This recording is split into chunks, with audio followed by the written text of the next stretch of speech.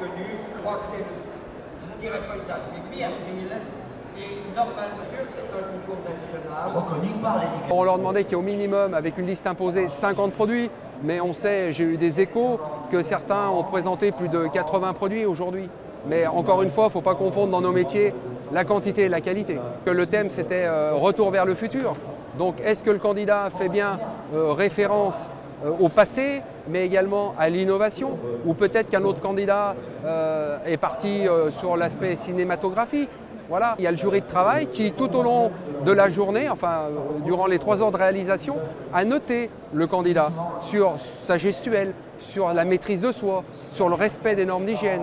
Et puis maintenant, euh, c'est au tour du jury de présentation. Donc lui va juger également de la qualité euh, esthétique de l'œuvre, ça certes, mais de la qualité des découpes.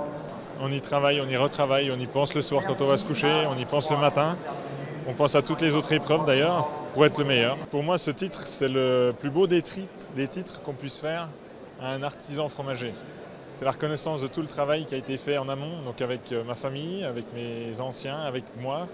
C'est aussi le départ de, quelque chose de nouveau, parce que les clients vont attendre l'excellence. Donc à moi d'assurer et d'être au top euh, tous les jours.